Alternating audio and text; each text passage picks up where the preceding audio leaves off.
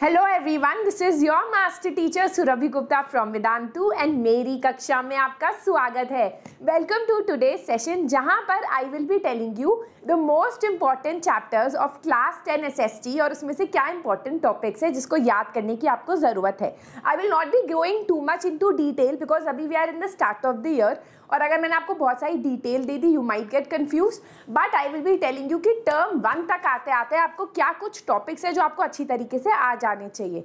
ठीक है? So without much delay let us begin you guys know me I am your social studies educator Surabhi Gupta मैंने अपना bachelors किया है from lady Shri Ram college masters किया है from Jawaharlal Nehru university and that is a little bit about me do not forget to give a thumbs up to this video share this video with your friends and subscribe to the channel now guys सबसे पहले before we get into the chapter Vedantu में होने वाला है विद्या उत्सव. And the उत्सव एक ऐसा क्रांति है जो एजुकेशन सेक्टर में होने वाली है on the twenty seventh and twenty eighth of April आप भी इसको देख सकते हो by clicking on the link in the description box below and if you participate in it तो बहुत सारी एक्टिविटीज़ बहुत सारे सरप्राइज़ गिफ्ट्स आपको मिल सकते हैं. You do not want to miss it make sure कि डिस्क्रिप्शन बॉक्स में जो लिंक है, आप उसको ज़रूर यू नो क्लिक करो. ठीक है? चलो now let us start with exactly क्या इंपॉर्टेंट टॉपिक्स है और क्या इंपॉर्टेंट चैप्टर्स हैं आपको इस साल एसएसटी के लिए। देखो यार, सबसे पहली चीज़ आपको याद करना पड़ेगा कि जो आपका 80 परसेंट ऑफ़ द पेपर है है ना? वो आपके 40 परसेंट ऑफ़ द सिलेबस से आता है। क्या समझे? कि अगर आपको लग रहा है कि एसएसटी में 20 चैप्टर्स है एसएसटी में इतने चैप्टर्स है, कैसे होंगे? बेटा, आपको याद रखने की ज़रूरत है कि कुछ चैप्टर्स ही हैं जिससे ज़्यादा मार्क्स आते हैं और उन चैप्टर्स में भी कुछ टॉपिक्स हैं जो बार बार पिछले दस साल में रिपीट होते हैं। आपको सब कुछ करके एग्ज़ाम में जाना है। क्योंकि देखो, मैं और कोई भी गारंटी नहीं दे सकता कि सीबीएसई किस टाइप का क्वेश्चन डेफिनेटली देगा। लेकिन हम अंदाज़ा लगा सकते हैं कि क्योंकि कुछ टॉपिक्स बहुत सालों से रिपीट हुए हैं तो उसी टाइप के क्वेश्चंस और उसी टाइप के टॉपिक्स आज भी रिपीट होंगे। इसीलिए आपको जो 40 percent of the repeated syllabus है, जिसे बार बार सीबीएसई क्वेश्चन पूछता है। आपको वो अच्छी तरीके के तर, तरीके से करके जाना है बाई हुक और बाई क्रुक ठीक है? अब यहाँ पर अगर आप क्वेश्चन पेपर डिज़ाइन देखो हिस्ट्री सिविक्स जोग्राफी इकोनॉमिक्स चारों का you know almost same marks का है। You have twenty twenty twenty twenty marks history में आपके पास तीन मेजर चैप्टर्स हैं। Rise of nationalism in Europe जिससे आपको एक फाइव मार्कर आता ही आता है। एक वन मार्कर आता ही आता है। ठीक है, एक एक या बल्कि कभी कभी दो वन मार्कर्स भी आ जाते हैं। तो ओवरऑल छः से सात मार्क्स का चैप्टर है वो। नेशनलिज्म इन इंडिया से टू मैप के क्वेश्चंस आते हैं। फाइव मार्कर भी आ सकता है, या फिर थ्री मार्कर आता है और वन मार्कर भी आता है। तो यहाँ पर the marks ranges from eight to five to eight marks ठीक है? अगर हम making of the global world की बात करें तो उसे only one part of the chapter है तो सिर्फ़ सिर्फ़ दो मार्क्स के क्वेश्चन आते हैं। उससे ज़्यादा अभी तक तो नहीं आए मैक्सिमम तीन मार्क्स के आ जाएँगे। है ना? Print culture and the modern world से अगेन पाँच मार्क के क्वेश्चन आते हैं और एक वन मार्कर क्वेश्चन भी आता है। कभी कभी केस बेस्ड क्वेश्चन भी आ जाता है है ना? तो कुछ भी हो सकता है। आपके, आपको हर चीज़ के लिए प्रिपेयर्ड रहना है। तो हिस्ट्री में ऐसा कोई भी चैप्टर नहीं है जो मैं कहूँगी छोड़ दो। सारे इंपॉर्टेंट है क्योंकि है ही कितने? थ्री एंड हाफ़ और उससे बीस मार्क्स के क्वेश्चन बनने होते हैं। ठीक है, अब हम जोग्राफी की अगर हम बात करें तो बेटा जोग्राफी में बहुत सारे चैप्टर्स ऐसे हैं। अच्छा जोग्राफी में आपको याद रखना है कि थ्योरी बहुत ज़्यादा है बट एग्ज़ाम में पूछे जाते हैं बहुत जनरल क्वेश्चंस तो आपको जोग्राफी को थोड़ा कॉन्सेप्चुअली समझना होगा सो दैट क्वेश्चन कैसा भी हो, कितना भी जनरल हो, आप कुछ ना कुछ लिख के आ जाओ।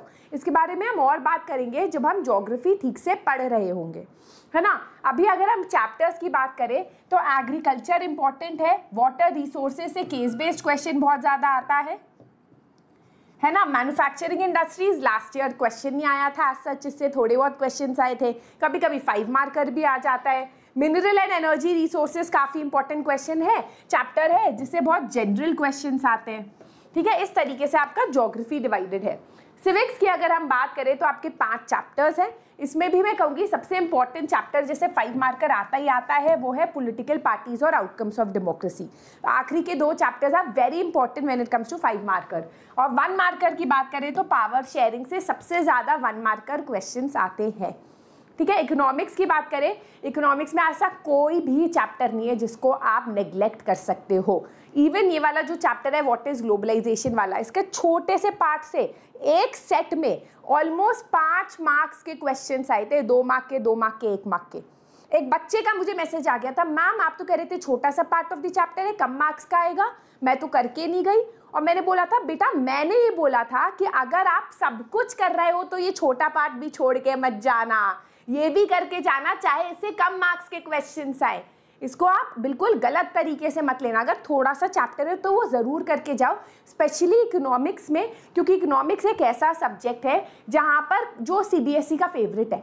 जहाँ से वो एक चैप्टर से बहुत सारे क्वेश्चन दे देता है। एंड यू नेवर नो कौन सा चैप्टर हो। ठीक है? तो यहाँ पर मनी एंड क्रेडिट से डेफिनेटली फाइव मार्कर आता है। और ग्लोबलाइजेशन छोटा पार्ट है, लेकिन उससे यू नेवर नो दो मार्क का भी आ सकता है फाइव मार्कर भी आ सकता है। लेकिन इस पूरे में मैं एक भी चैप्टर ऐसा नहीं कहूँगी जो कम इंपॉर्टेंट है। ठीक है? अब टर्म वन की बात करें कुछ शुरू के कुछ चैप्टर्स की बात करें, जो आप अभी शायद स्कूल में और मुझसे पढ़ रहे होंगे तो rise of nationalism in Europe में the French revolution and the idea of nation कैसे फ्रेंच रेवोल्यूशनरीज ने आइडिया ऑफ़ नेशन बनाया? दूसरा, कैसे जो है यूरोप में यू नो समाज एग्जिस्ट करता था? 1848 का रेवोल्यूशन यूनिफिकेशन ये कुछ इंपॉर्टेंट टॉपिक्स है जो एग्ज़ाम में काफ़ी रिपीट होते हैं।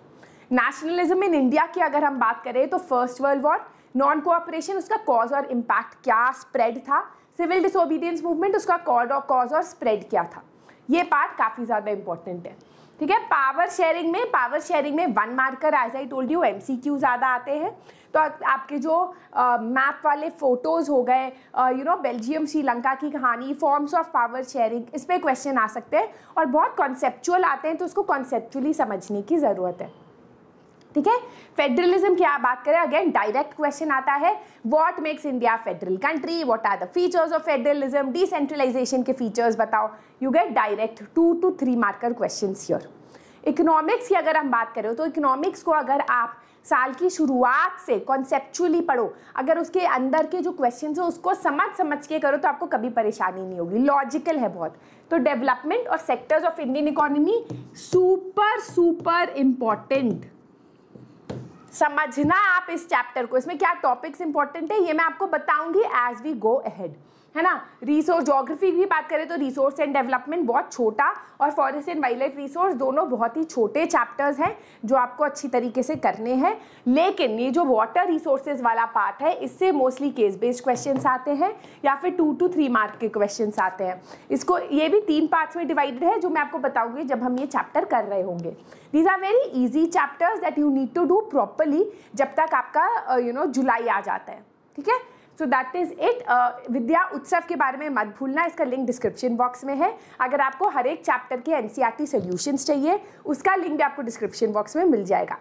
Everything will be provided completely free on the Vedantu nine और टेन चैनल जो हम लोग सेशंस ले रहे हैं लेक्चर्स ले रहे हैं, उसके नोट्स भी आपको बिल्कुल फ्री में मिलेंगे। So do not forget to give a thumbs up share and subscribe